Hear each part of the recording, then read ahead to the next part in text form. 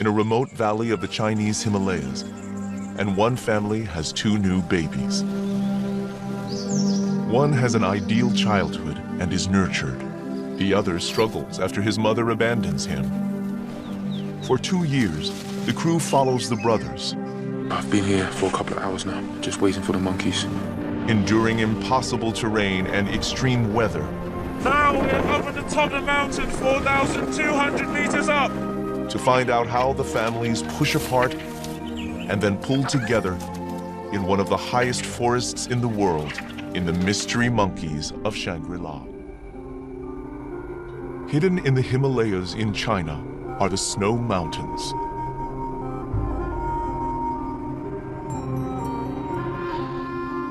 Behind peaks of up to 22,000 feet are inaccessible canyons, miles deep. For centuries here, there have been stories of lost cities and woodland elves.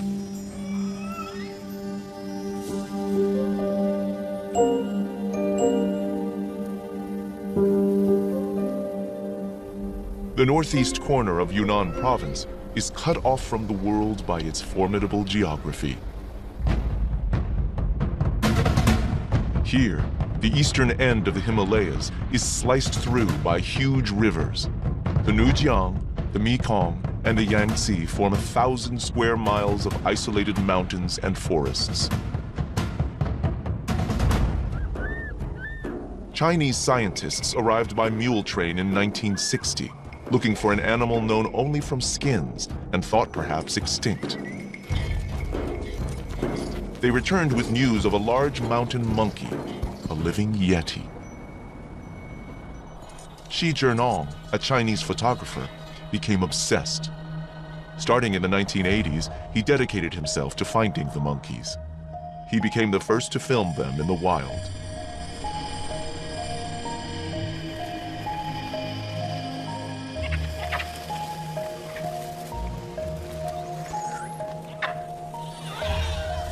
There are only a few thousand Yunnan snub-nosed monkeys. They are gentle, with odd-looking noses and prominent forelocks.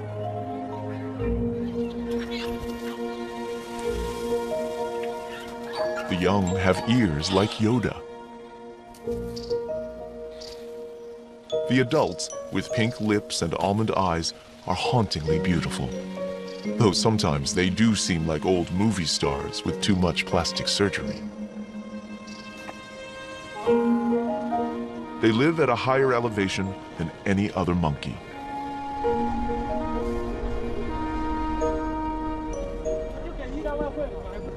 It's 30 years later, and Xi Zhinong has hired a new team. The expedition has two young cameramen, six porters, three rangers, and a scientist. They cross mountain passes at 14,000 feet. The oxygen level is almost half. Cameraman Jackie Poon finds it tough.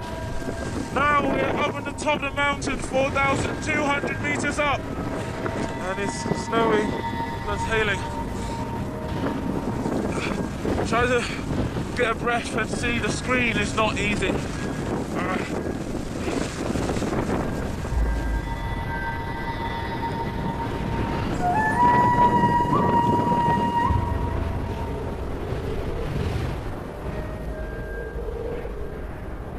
Behind the passes are valleys. As the team descends, the temperature rises. They find an enchanted garden behind mile-high walls. Jackie Poon can hardly believe it. It's like you're going into a different world. You start to hear birds and see flowers.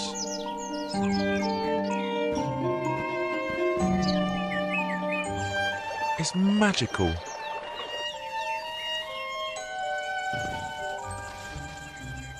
All of a sudden, in the trees are the monkeys. It's a huge thrill to see them. Jackie Poon and Wu Yuanqi are amazed. The monkeys seem unafraid of them. These monkeys are unique because they're not too bothered by people, but they're still wild animals, so you can't tell them what to do, you can't control them. So feel so very, very privileged. Very privileged. Xi Zhinong's ambition is to make a film following individual monkeys for two years. Park rangers and scientists will help track them with the team. It has never been attempted before, for some very good reasons.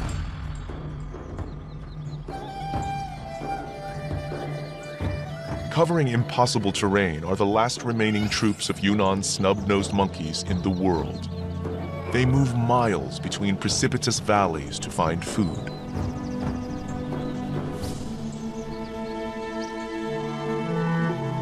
One smaller troop is easier to follow. There are eight families in this troop, each with a male and several females and their young. By March, after months of waiting, the team sees one of the eight families with a newborn.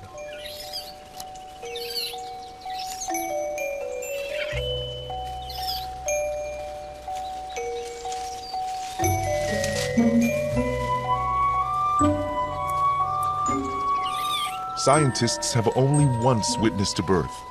The other mothers helped like midwives.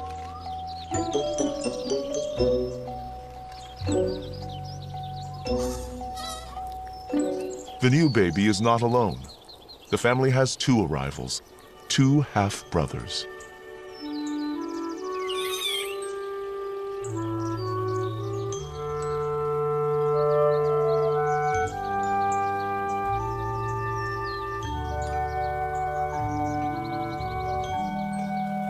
The mothers have just one baby each every two or three years. It's too harsh here to support more. The other mothers and the father need to help. In a family of six adults, these two half-brothers should both be well looked after. But cameraman Jackie Poon notices one is neglected.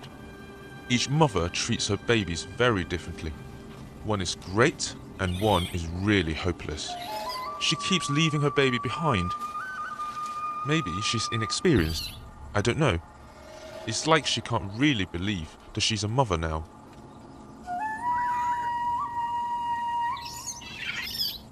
Luckily, the rest of the family helps her and looks after the baby as well. The other mothers even provide milk.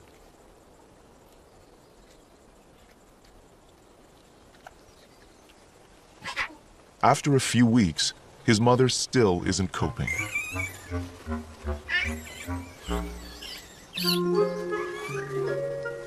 While the other baby is protected and indulged, he's raised haphazardly by the whole family.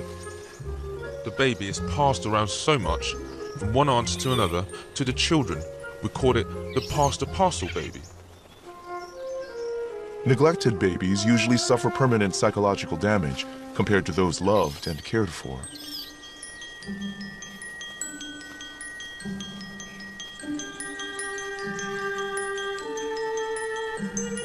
But scientific studies also show that a few of those that survive can become tougher and braver.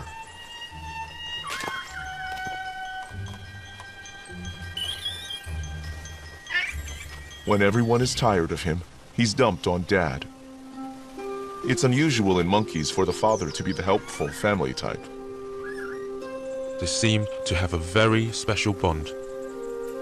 He looks after him and grooms him most of the time, while his mother is out looking for food.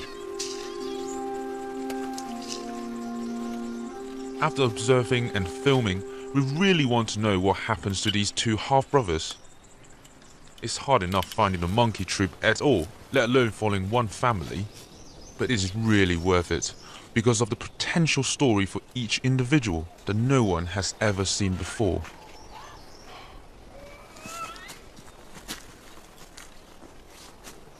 The monkeys' lives are part of the wider story of the mountains and the isolated people who live here. The whole area has hardly been filmed.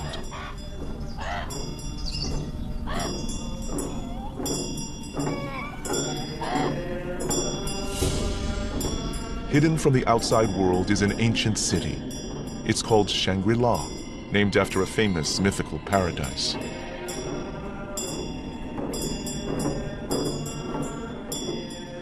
Prayer flags and burnt offerings are made by Tibetan Buddhists.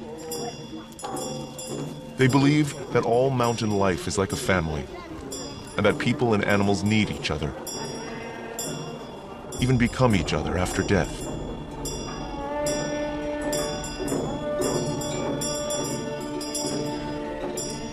In spring, monks from the nearby monastery lead the village yaks up toward the monkeys' forests. It takes several days, and the calves face many hazards.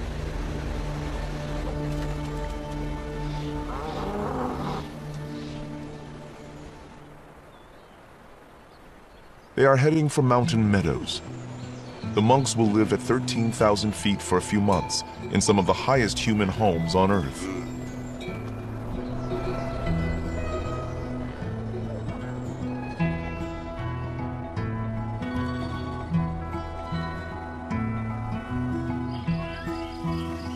It's May, and in the forest, the neglected baby is still being passed around the family and is always hungry. While his half brother is cosseted like a prince, he struggles to cope.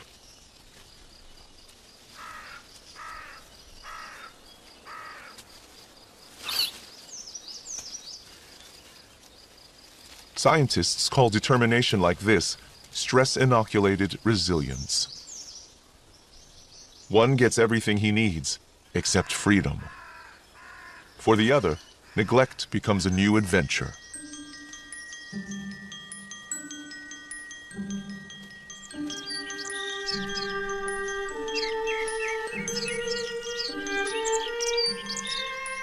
In May, the rhododendron forests welcome sunbirds arriving from miles below.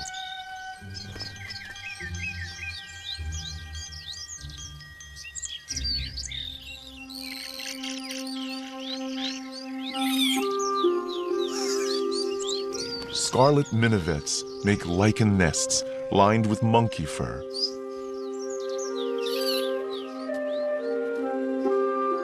Alpine butterflies sip on buddleia.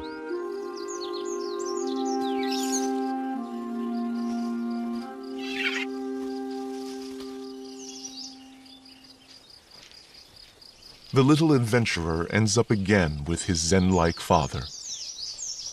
These family monkeys are exceptional in the time that they give to each other.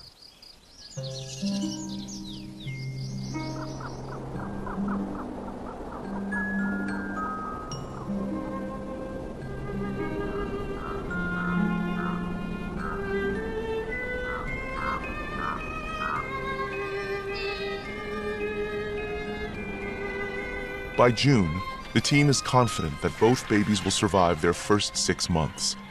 They have time to focus on the wider troop. Snub-nosed monkeys can travel many miles a day for food. They find fir trees dripping with lichen, like cotton candy. In winter, there is little else edible in the forest, so the monkeys depend on the lichen. The Usnea lichen is also a powerful antibiotic and well known to Chinese medicine. The troop of about a hundred monkeys is composed of eight self-contained families and about 30 surplus adult males.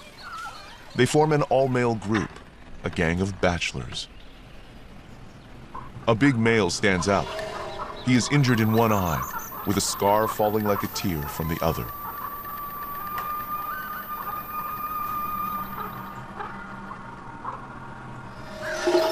Everyone seems just a little afraid of him. He's the Pirate King, and his crew act as lookouts.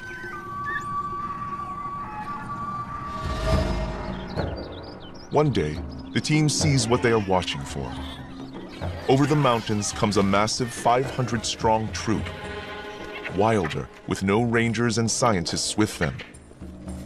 Several have lost limbs, probably in snares set for deer.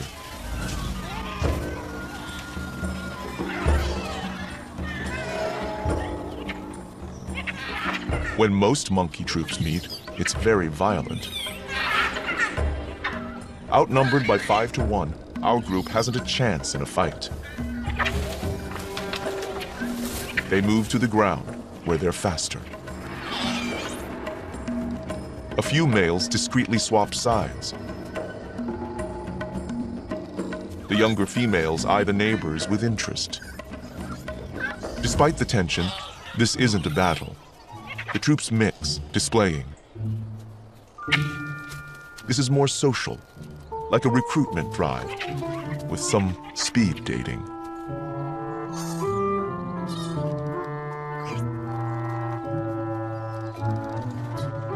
When time's up, a quarter of the world population parts peacefully. Their gentleness is a scientific puzzle. Lichen is everywhere, so maybe not worth fighting over. Yet a wild bamboo grove is well worth defending. Bamboo shoots grow a foot a day and are full of energy for nursing mothers.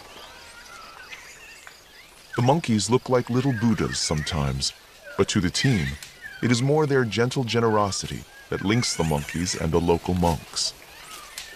Yunnan snub-nosed monkeys are as rare as giant pandas, which may have once come up here in summer, but are now long gone from these mountains. After a morning's foraging, the afternoon is for grooming and snoozing. The little prince has had his milk. His neglected half-brother is kept alive by the whole family, but he doesn't get as much to eat. He often forages on his own.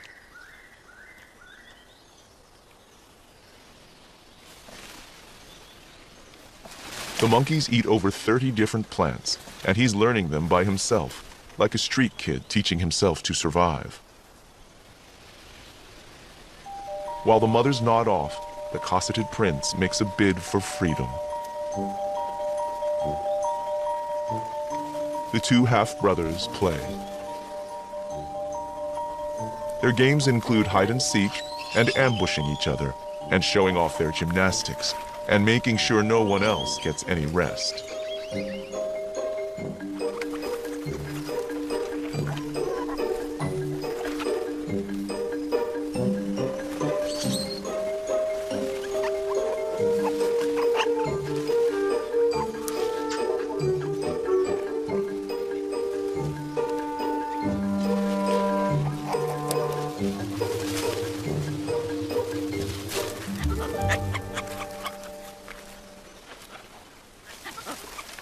Are growing up fast.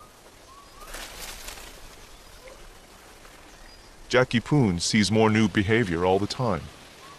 Sometimes in the afternoon, after snoozing, the younger monkeys will go with a group of adults, particularly from the all-male group, to go and explore the forest. It's like a school really, they watch each other and learn. This temperate forest is one of the botanically richest in the world, with thousands of species. This is a UN World Heritage Site for biodiversity. Young snub-nosed monkeys learn to hunt for unique beetles and spiders. Childhood here is drawn out over five years. Some of these pupils are in their third or fourth year.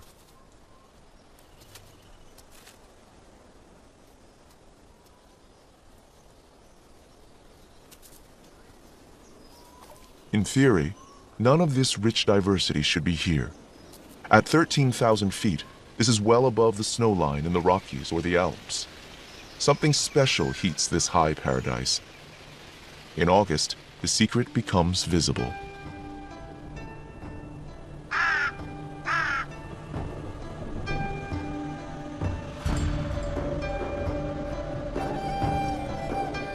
Warmth flows up from the jungles below, thanks to a quirk of geography. Rivers, including the Yangtze and the Mekong, have cut valleys deeper than the Grand Canyon. Air funnels from Borneo and India, as through central heating pipes. Below the Himalayas, a few hundred Asian elephants live in Yunnan's river valleys. These Chinese survivors drink snowmelt from the forested peaks above.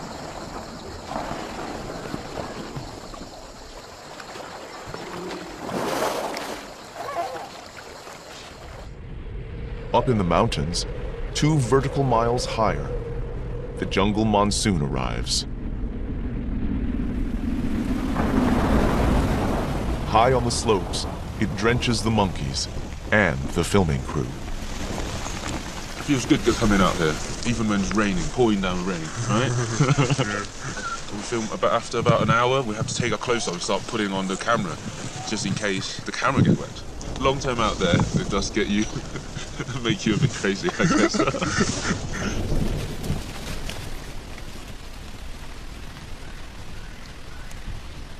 Fruit, like Himalayan dogwood, and cousins of lychees and kiwi fruit, and countless berries, all ripen. It's the last chance to fill up before the leaves turn.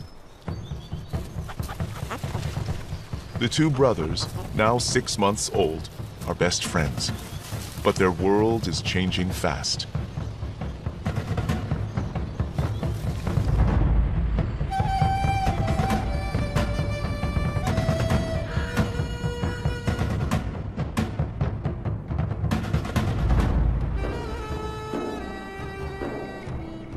It's soon time for the monks to leave the alpine meadows. With help from their neighbors, they are making yak butter, churning and cooking. It's used to add to tea and enjoyed by the filming crew. They kind of turn it into this frothy tea. It almost tastes like the English tea, but salty with more fat. It warms you up very quickly, and after a while it even tastes amazing. After it's churned and cooked, yak butter is set and shaped. A summer's milk fat will be carried down to the villages, with some left for the team to keep them going through the winter.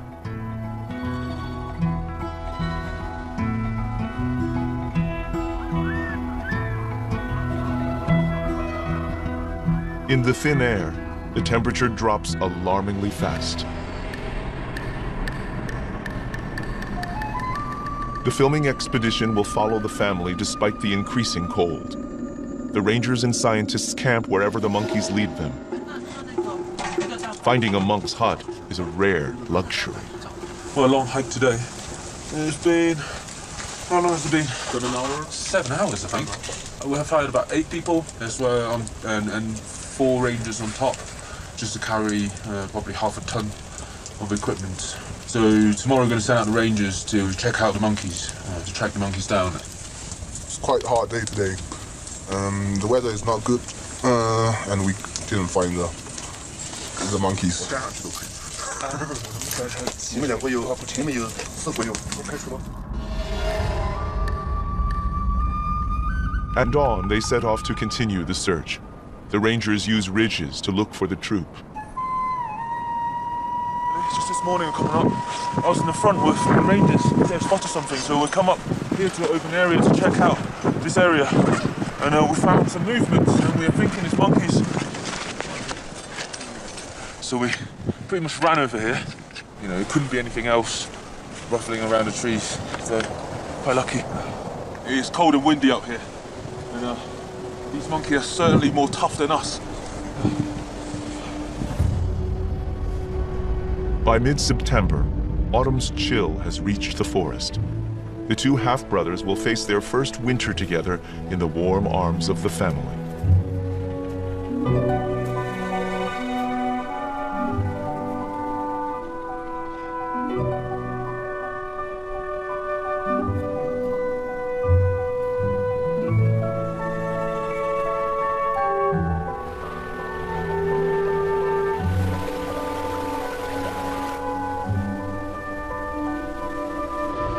Just behind the peaks is the Tibetan Plateau, high, flat, and freezing. Wild yaks eke out an existence. Chiru, an antelope, live higher than any other. Alongside are Kiang, a wild ass, cousin of the ancestral horse. This freezing plain now controls the monkeys' lives, as the monsoon did from below only a month before.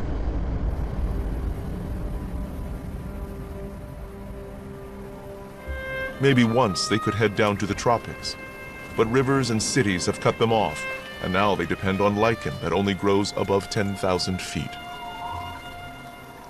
They are trapped, and when they are thirsty, there is only snow.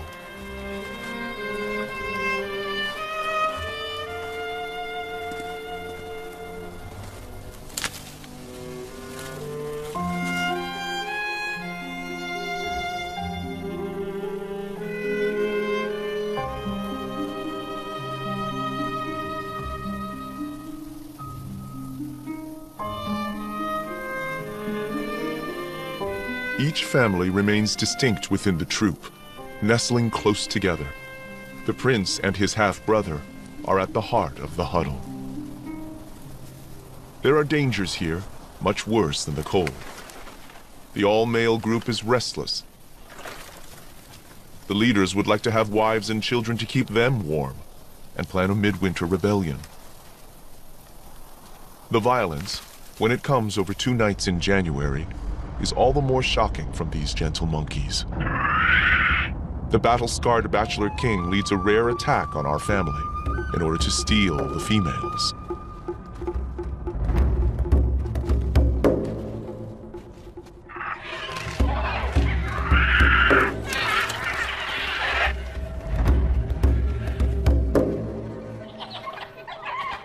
Our family dad is thrown out of the tree and unfortunately killed by the fall.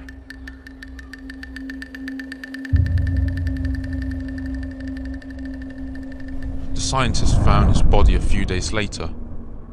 He was a great father and looked after the baby very well. It was such a sad moment for us, for the whole team filming the monkeys.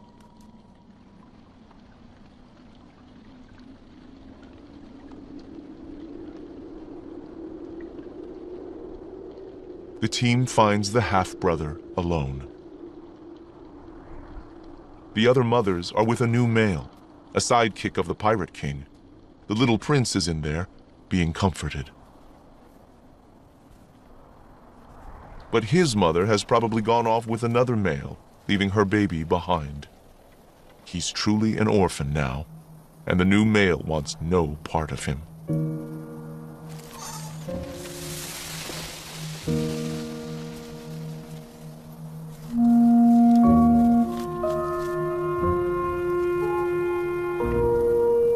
The troop has other families, and it's possible they could adopt him, but it's never been seen before. I really thought he would die. We all did. All we can do is hope.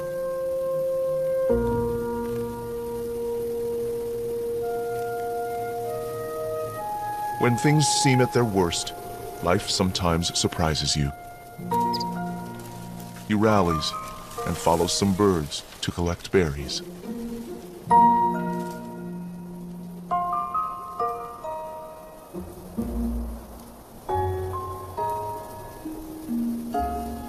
The monkeys are not the only ones influenced by hardship. Buddhism was founded across the Himalayas under the shadow of the harsh mountains. The monks believe that life is delicate, interconnected, and we should care for it all. On the edge of the forest, the monks are helping a rare pheasant. It's in decline, poached for food. They have bred a small flock, and today they release them with ceremony and prayers. Tea is poured over a statue that looks a little like a baby monkey. Buddhists believe that many animals can be kind. But scientists say that altruism, kindness, is rarely, if ever, seen in animals. These monkeys may be exceptional. I would say if any animal shows compassion, it's these snub-nosed monkeys. The orphan's life is in the hands of the seven other families and a gang of 30 males. Then the team loses him in the snow.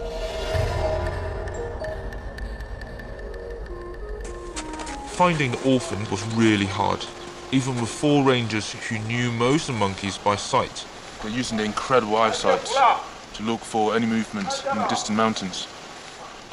And there's also another ranger up on top, also swatting for the monkeys too. And uh, for us, we just got to be quiet and uh, hopefully we'll get to see the monkeys soon. But uh, you can see over there, through the distance, just a lot of snow. So trekking through these snows really isn't easy. Jackie Poon and Wu Yuan Chi try to hide in the path of the troop to learn what has happened to the orphaned baby. Well, I've been here for a couple of hours now, uh, and just waiting for the monkeys that could well be coming across the mountain right in front of me. I'm spotting for any movements in the trees, and my colleague Wu is down in the gully, and he's looking for movement as well. Uh, we've been told by rangers this morning that the monkey's going to come across this way. If they come, come into this valley, I'm pretty sure we'll get them, uh, either one of us. So just trying to be patient. I'm so happy when the monkeys come by, and I find the orphan on his own. He's still alive.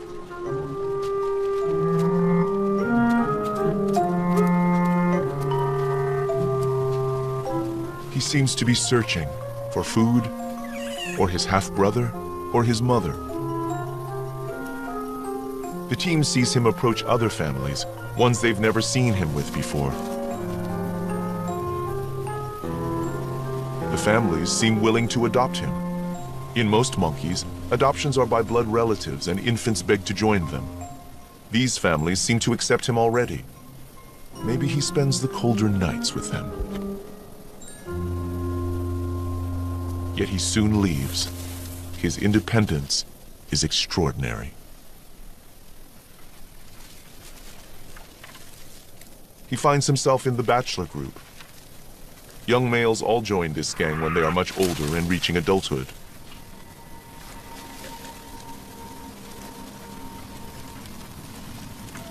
The bachelors can be dangerous, particularly the battle-scarred king.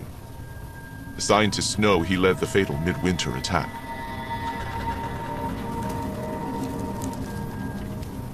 Yet the baby monkey gets closer to his father's killer. The warrior looks up, but ignores him.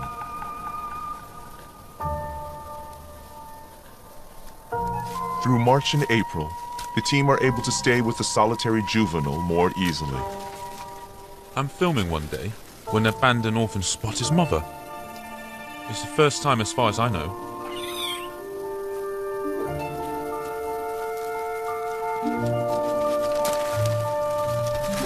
Jumps over to her. She hasn't got any milk for him. They hug for ages.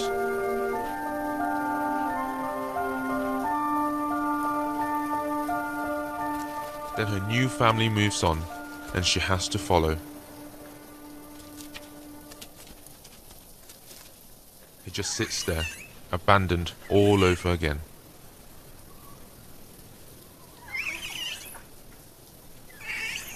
Then suddenly, the big male, and probably one of his father's killers, come over and sit next to him.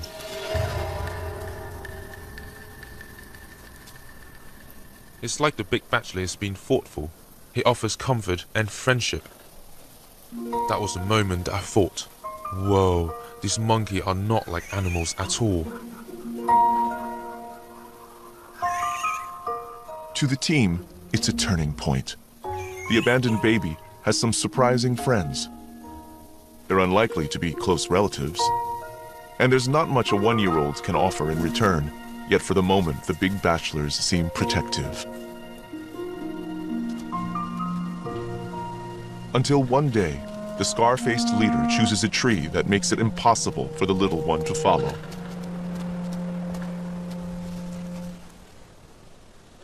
The all-male group above pay no attention. Maybe they've had enough of their little mascot.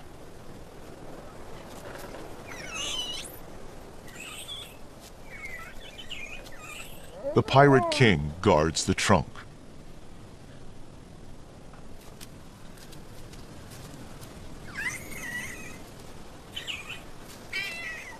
Then, a hand reaches down.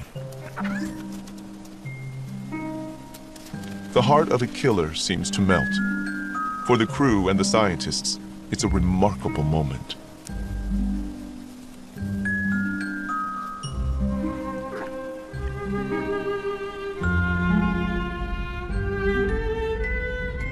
Spring finally returns again in May.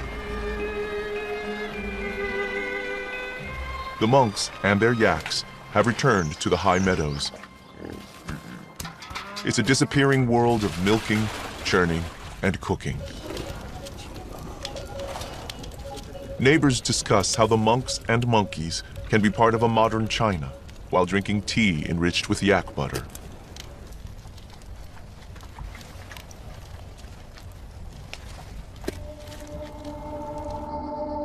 Above the monk's meadow and the monkey's forest are peaks famous for their plants and animals.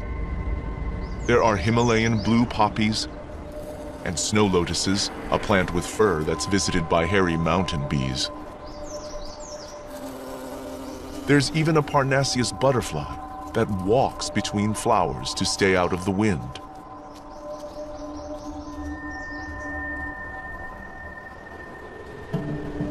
In June, increasing numbers of people make a long trek here, searching for a caterpillar infected by a fungus called cordyceps. It's been discovered to be a remedy for cancer. The trade in medicinal plants is lucrative, and the mountains are picked clean.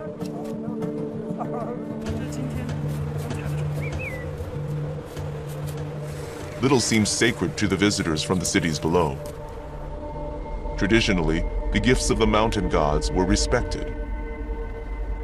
The Buddhist monks hold on to a belief that these mountains somehow contain the secret to understanding life.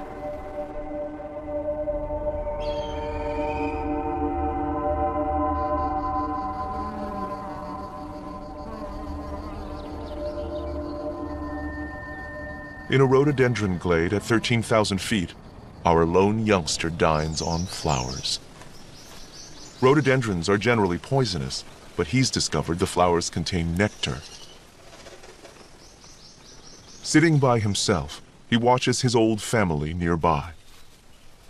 His half brother, the prince, his old playmate, is there having a tantrum.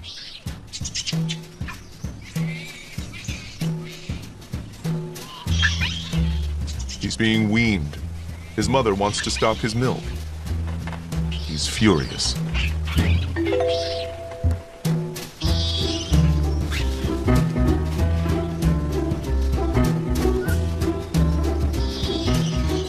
It's a battle of wills, but his mother seems determined.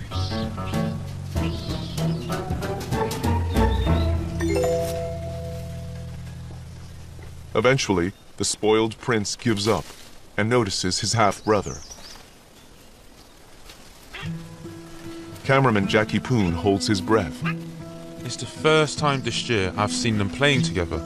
It's amazing. As young males grow up, they are encouraged to nurture friendships. It's the first stage of forming the alliances they'll need later in the bachelor group. It was fun at first, but sadly something went wrong. The abandoned baby got something in its eye.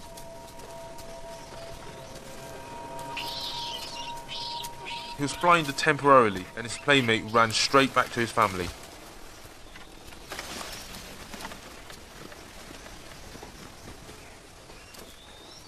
I realised why the little prince was so keen to be with his family.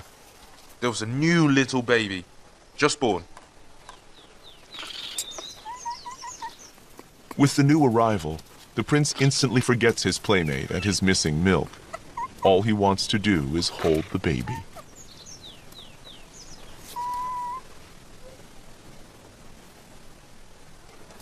Over the next few days, he pesters and waits for his chance. Then, one wet afternoon, he gets it.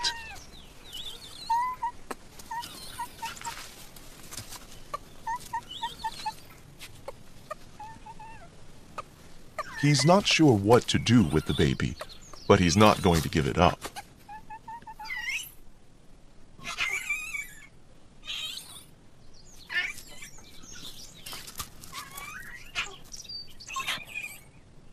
The newborn's hard to manage, more than he can handle.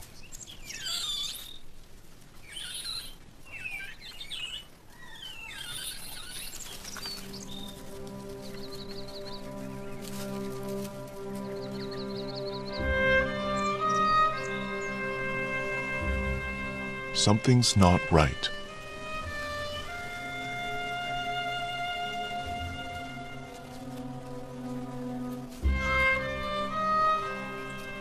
Panic seems to sweep over the mothers.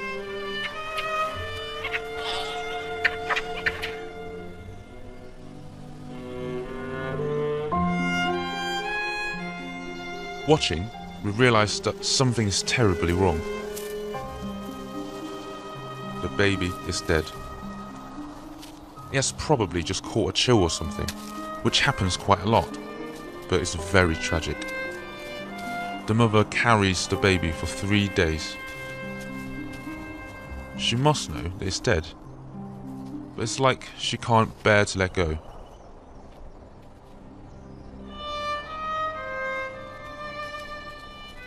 She finally lays it in the leaves on the forest floor.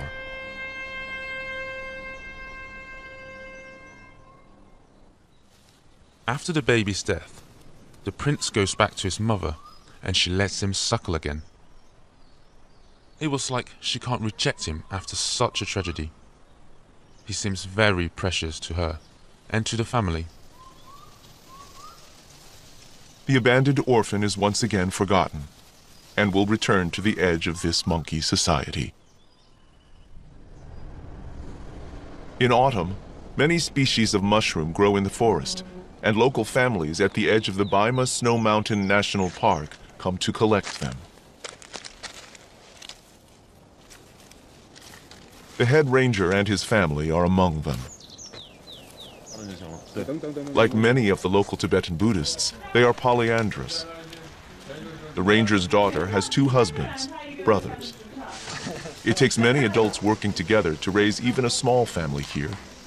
The harsh mountain life creates unusual families among humans as well as monkeys. Traditional entertainment competes with television these days.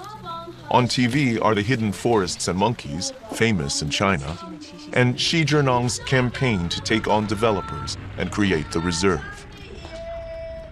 The commentary tells of the forest elves that are fearful and have nowhere to go.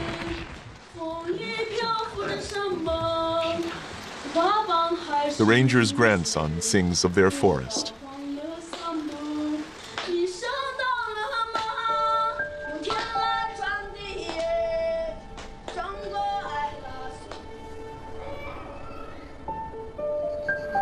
In summer, the meadows are full of flowers. For over a hundred years, Western plant collectors have brought back azaleas and primroses, snow lotus and poppies, irises, orchids, and rhododendrons from the Himalayas for our gardens. At the edge of the meadow, the outcast watches. the cosseted prince grooms his stepfather. Unusually among primates, affection seems not to depend on bloodline. The forgotten friend sees the little prince move to his mother for milk. But she refuses. Once more, he is furious. His dance of frustration is ignored by all, except the little orphan, his half-brother. Everyone else just wants to snooze.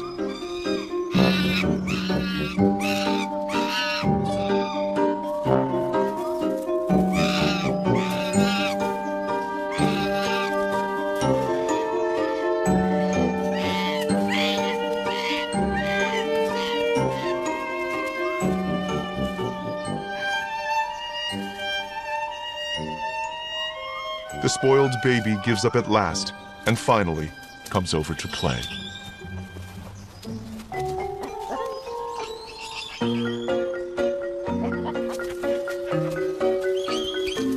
The two half brothers tussle together, rediscovering a friendship.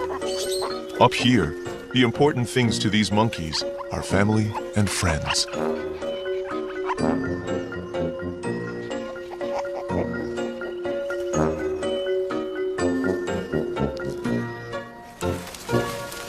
They return to the trees to play there.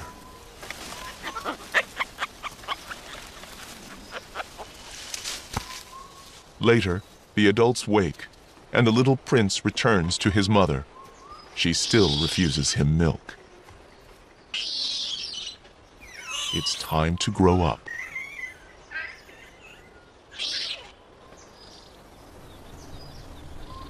From that moment, the two half brothers are inseparable. I knew that was it. Almost the end of the story. Except one day, the Scarface leader of the Bachelors barks angrily at them.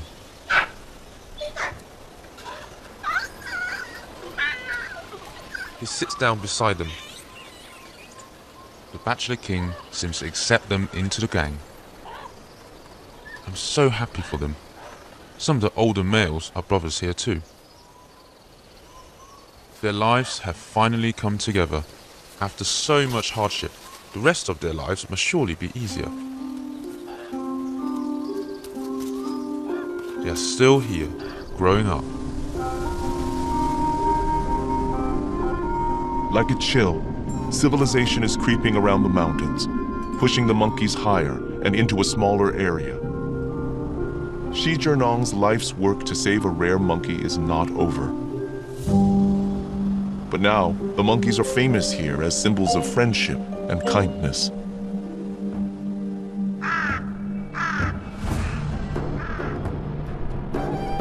Everyone knows of China's rapid growth, but it's not the whole story. What I want to tell people internationally is to let them know that we are doing something here. You know, we're doing good things here, and you know, we're trying to make a difference. I think that's probably the most important for me.